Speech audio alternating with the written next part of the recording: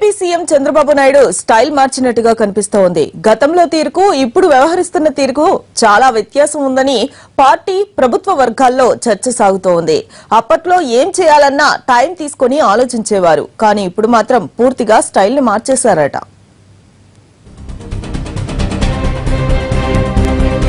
అధికారంలో ఉన్నప్పుడు చంద్రబాబు తీరే వేరుగా ఉంటుంది. గతంలో ఏ సమీక్షా కార్యక్రమాలు అమలు చేయాలన్నా ఎన్నో కూడికలు మరెన్నో తీసివేతలు ఉంటే తప్ప ఫైల్ ముందుకు కదిలేది కాదు.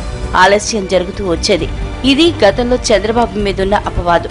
ఉమ్మడి రాష్ట్రానికి సీఎంగా ఆయన్ను దగ్గరుండి చూసిన వారు ప్రస్తుతం ఏపీ సీఎంగా వ్యవహరిస్తున్న తీరు చూసి ఆశ్చర్యపోతున్నారు. సంక్షేమ రంగానికి సంబంధించి అడుగు తీసి అడుగు వేయాలన్నా ఎంతో ఆచితూచి వ్యవహరించే ఆయనేనా?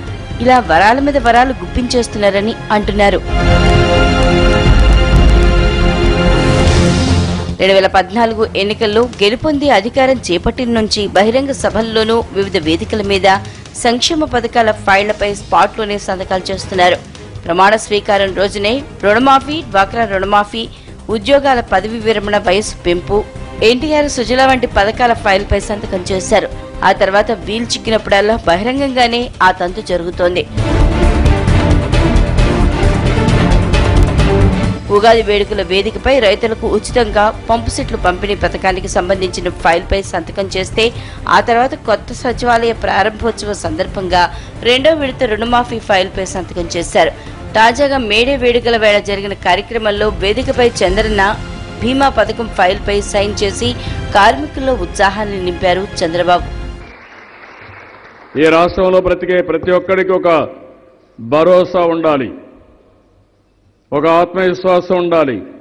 నాకేదైనా జరిగితే నాకు అండగా ఈ బీమా ఉంటుంది ఈ ప్రభుత్వం ఉంటుంది అని ఆశ కల్పించాల్సిన అవసరం ఉంది. అందుకని మనం రెండు మూడు నెలల్లో మొత్తం దీన్ని పూర్తి చేయాల్సిన అవసరం ఉంది. ఇప్పుడే మీ ముందరనే ఈ యొక్క బీమా పథకానికి సంతకం కూడా పెడుతున్నా.